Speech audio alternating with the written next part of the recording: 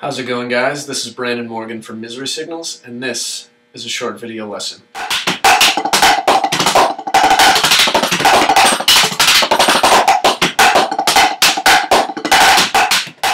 So what we're going to work on today guys is something called inverted paradiddle nines.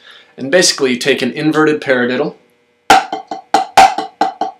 right, left, left, right, left, right, right, left, and then tack a bass drum stroke onto the end of it. Here.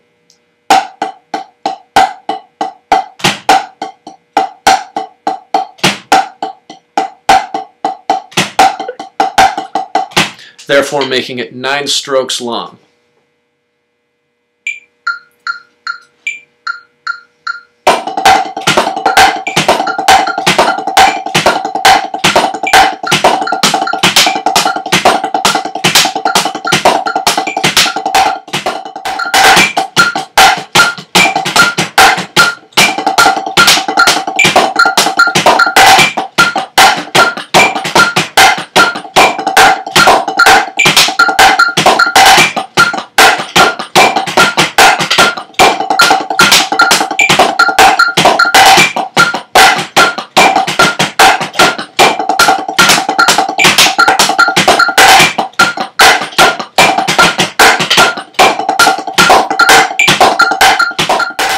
Guys for checking out my brief video lesson. If you're interested in taking private lessons with me, check out bandhappy.com and send me a message there.